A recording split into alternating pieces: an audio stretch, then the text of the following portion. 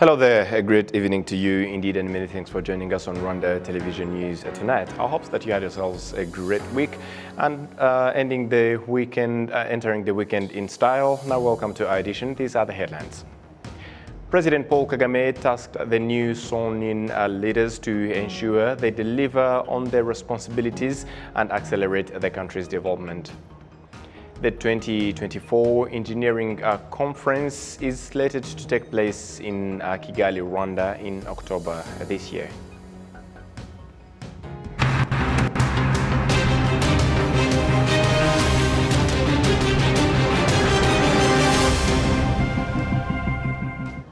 Greetings to you once again and thank you for keeping us company. On uh, Friday, President Paul Kagame uh, reiterated uh, that the oath of office uh, for new officials should not only be a tradition, rather goes hand in hand with uh, fulfilling the responsibilities they had sworn in in the interest of the country.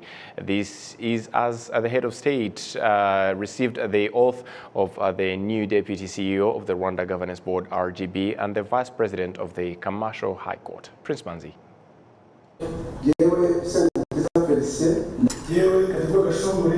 The oath received by the head of state is that of Dr. Felicien Usengumukiza, who was recently appointed Deputy Chief Executive Officer of the Rwanda Governance Board, and that of Gashongore Kadigwa, the Vice President of the Commercial High Court, both of which were recently approved by the cabinet meeting.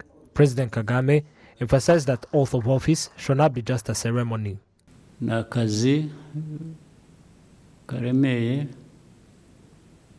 It is a heavy job, and apart from being heavy, it goes with comportments, understanding, and the policy of the nation that the job is to possess in terms of fulfilling responsibilities aligned with it. Taking oath is not a ceremony. Taking oath goes with that responsibility and what to characterize the officials as they execute the responsibilities and the country continues to benefit and to be fast in what we do and where we want to reach.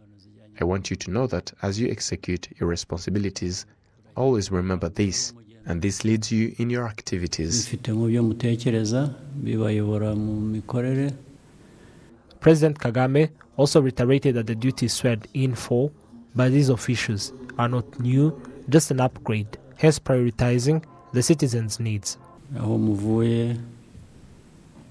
Aho muvuye n'aho mugiye Where you're coming from and where you're assigned now are the same responsibilities, serving the country. The changes in positions you had, but the responsibilities are the same and upgraded. I wanted that in collaboration with other levels, the work is to be done as it should. Nothing much I am to say today, apart from thanking and reminding you and wish you well in your work. Muzagira akazi keza Dr. Felicien Osengo Mukiza, who sworn in as the new Deputy Chief Executive Officer of the Rwanda Governance Board, was before his appointment the head of research department at this board, while prior to Gashongore Kadigwa's appointment as the Vice President of the Commercial High Court, Kadigwa was a judge at the High Court since 2019. Prince Manzi, OTV News. Consumers here in Rwanda have been asking that they, uh, there be proper uh, follow-up to ensure that the prices are set for uh, commodities are by the government are actually respected by traders. This comes as the country joined the rest of the globe in celebrating the World Consumer Day. Regardless of where you go, be it in markets or other places of trade, complaints of traders not respecting set prices for food products are rife. And the traders we spoke to said the practice stems from the greed of those who do such things, and that there are no shortages, as some claim, while hiking prices, coupled with the fact that such traders also avoid using receipts from their electronic billing machines or EBMs. Officials at the Rwanda Consumers' Rights Protection Organization are urging the general public to be vocal about such practices. There are many traders who do not know the rights of the consumer or their responsibilities as traders when it comes to the provision of quality products using technology. Now, concerning all of those challenges that consumers encounter, we are asking them to report such incidents and to be careful when buying goods to ensure that they are not stolen.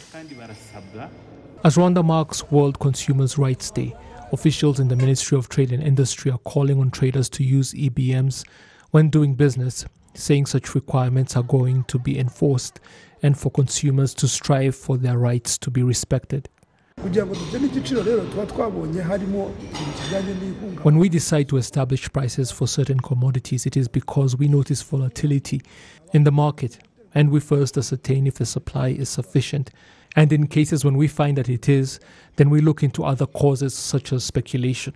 After that, we look into ways of ensuring that consumers get the products at a fair market price. And the use of technology is one way of making sure that prices are not overinflated. Besides, the government provides subsidies for such machines, so there is no reason why traders should not invest in them. Let us use them to solve such problems, and on this day that marks consumer rights, let us look at the solutions being presented. World Consumers' Rights Day comes as the harvest for the 2024 A season has become available, and the government has determined the proper price for key items such as maize and rice. With the 2024 Global Engineering Conference slated to take place here in Rwanda in October, engineers in the country are preparing for the major event and noting on the significance of the country hosting this major gathering. With 1,000 delegates expected to attend the conference, a meeting was held on Friday in line with organizing the major event, the first ever of its kind to be held on African soil. We're launching an event that we are going to host in October from 15th to 18th. The World Federation of Engineering Organization, GECO, and also the Executive Council meeting. Uh, that will be the first time, like she mentioned, in Africa. It will be an honor to host this event in Africa for the first time. Indeed, Rwanda hosting the 2024 Global Engineering Conference is being seen as significant around the world and says volumes about the country, especially among professionals in the field. Rwanda uh, represents some um, um, development towards the future in, in Africa. Uh, Af Rwanda is an active country, is uh, uh with a successful uh, industrial policy. And uh, so it's good that this first meeting uh, is, uh, is here in, in Rwanda. With Rwanda pushing hard on her journey towards long term sustainable development, the country's construction industry has remained vital to ensuring that the goals set are achieved. There's nowhere you can develop a country, a nation, without engineers. So I think I will take this opportunity to thank uh, the engineers who are continuing to, to support the development. Of course, as engineers, uh, we do have uh, a unique opportunity and responsibility to shape the future, the future of our nation, but also the future of our planet. So uh, the choice we make in our engineering work, the choice we make today, uh, have a direct impact uh, on the world for the future generation. So it is very important we make sure we make the right choice. The 2024 Global Engineering Conference theme will be focusing on innovations for sustainable infrastructure development for the future. Moving ahead, during the last three years in the four districts of Rwanda, more than 15,000 families have come out of extreme poverty thanks to World Vision Rwanda's Thrive project. Some of those whose lives have been transformed through World Vision Rwanda's three-year Thrive program are Mukantabana Victory and Ntaneza Anatoli. They say the project has transformed their lives, especially through mindset shift.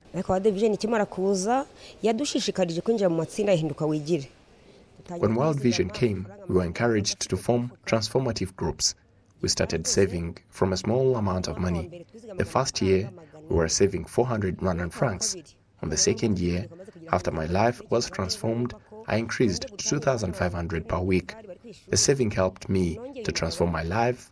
My children went to school, and I later acquired a loan and used it to transform my life and implement different projects.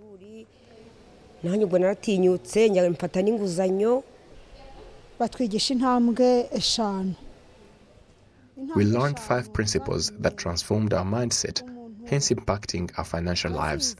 I now do small business and poultry and pig farming.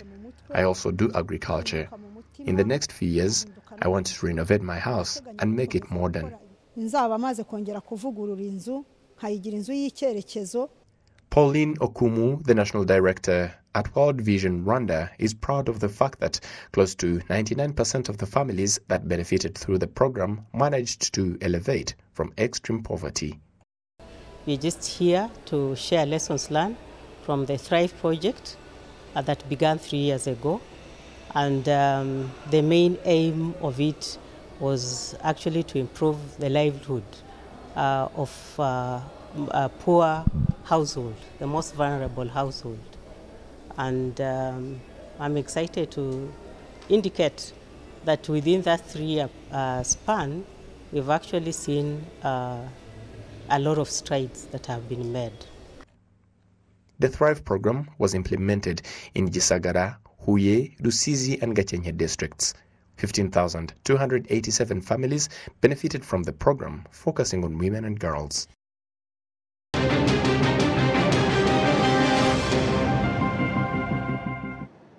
Welcome back to Health Matters. With the improvement and advancement in the treatment of uh, kidney diseases uh, by using the substitute method, also known as a kidney transplant in Rwanda, uh, for the first time, a symposium on kidney and its uh, treatment, as well as uh, the disease prevention, has been held in Kigali.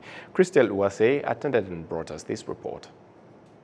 Marte Karangwa is one of the victims of this disease but has been given the opportunity for his kidney to be replaced. He confessed that it had been helpful to him as it contributed to his health. agaragaza amahirwe adasanzwe abanyarwanda twagize bikagaragaza ko inzego z'ubuzima ziri gukora neza cyane ku bijyanye n'ubuzima bw'abaturage represents the opportunity Rwandans are given and shows that health institutions in Rwanda are working well. Simply, it's amazing. Now I'm doing well, life is going well. They put me on nine months medication. I followed the doctor's instructions and took my medication well, and now my life went back to being normal. A kidney doctor at Kanombe Military Hospital, Dr. Nyenye Liev Darlene, confirms that the kidney disease treatment in Rwanda has improved so far, but also this disease is dominated in young people. leta y'u rwanda abantu bose ari abakoresha mituweli ari abakoresha ubundi bwishingizi The government supports all those that needs the treatment where it is needed. As doctors, we see them in hospitals and many of them are young people that have kidney disease that was not caused by these metabolic diseases. But also, we have many on the list that will give the treatment. benshi bategereje turi gu- turi gutegura ku buryo tuzakomeza kubakorera The Rwanda Biomedical Center appreciates the pivotal role of Rwanda in the development of kidney diseases treatment by facilitating kidney transplant to patients and thus supports the citizens to get the treatment at a low cost using their health insurances and they are putting effort in encouraging people to fight this disease. Eh, hari ko kuri iryo terambere ry'ubuvuzi ari ukwita kubona abantu bazirwaye wenda mu gihe bitagaragaraga neza ariko kandi n'ibitera izo ndwara byariyongereye Yes, there's the development in kidney treatment, but also there's a rise of root causes. The Ministry of Health set measures of providing a free test on these metabolic diseases, including kidney disease, in the Rwanda community. But mostly we are setting measures on how to avoid these diseases by doing sports, avoid smoking and alcohol, plus seeing the doctor for testing the state of our health. So far in Rwanda, kidney disease is on the rise, but also there is a big improvement in treatment, most especially in kidney transplantation. Since 2010, when Rwanda started sending people abroad for kidney transplantation, the figures provided by Rwanda Biomedical Center, about 100 of them have been treated under kidney transplantation service, including 24 that has been mainly treated in Rwanda in less than a year, and those with kidney disease are close to a thousand. Christelle Uwase, RTV News. The International Association of Professional Accountants, ICPAR, has signed an agreement with the African Youth Development Agency, Chancen International, which aims to provide loans for all students who want to study accounting. Cedric Irakoze has the details. According to reports, Chancen International, in conjunction with ICPAR, say it will be resolved soon. The chief operating officer of Chancen International says that education requires a lot of property and energy. Accounting professionals are in demand in any organization which is any nation which is developing. So we see that Rwanda is developing, uh, it's one of the fastest developing economies. When investors come, most of them ask whether do you have accounting professionals. We also need more funding. Uh, to educate students, it's uh, it's not very easy. As of now, uh, we have 3,500 students. The head of board of director of the company, Amin Mirango, has raised concerns about whether all students will be allowed to participate. Uh, for us as a professional body, the difference between a university and a professional body like ICPA is that for us, we never leave you. But now, you can't do them when you're not a professional accountant. So uh, it means that we are always in touch with our members, we're always in touch with our graduates, and uh, now that uh, uh we, we, are beginning now to have uh, big numbers of people now who are coming through the CPNCAT programs. Students are expected to start studying in May and take the first exam in July. Cedric Irakoze, RBA News. The Africa College of Theology here in Kigali held its first accredited graduation ceremony, providing certificates to 150 students and the graduates have been urged to use the knowledge they have acquired properly, avoiding teachings that lead uh, that mislead their believers. The college's administration has commended the progress that has been made since its establishment, training for uh, character formation, academic competence, and professional skills. Thousands of volumes of books in theology, uh, leadership, and uh, related fields, professors from all around Africa and beyond, and accredited by both Rwanda's Higher Education Council and the Association of Christian Theological Education in Africa. It was founded in 2013 and accredited in 2020, providing Bachelor of Arts in Theology and Leadership as well as the postgraduate studies. And it's uh, from this that we come to the end of our tonight's edition. On behalf of the entire news production as well as the te technical team that made it happen, uh, many thanks for being with us. And we wish you a safe and a great fun-filled weekend. Goodbye.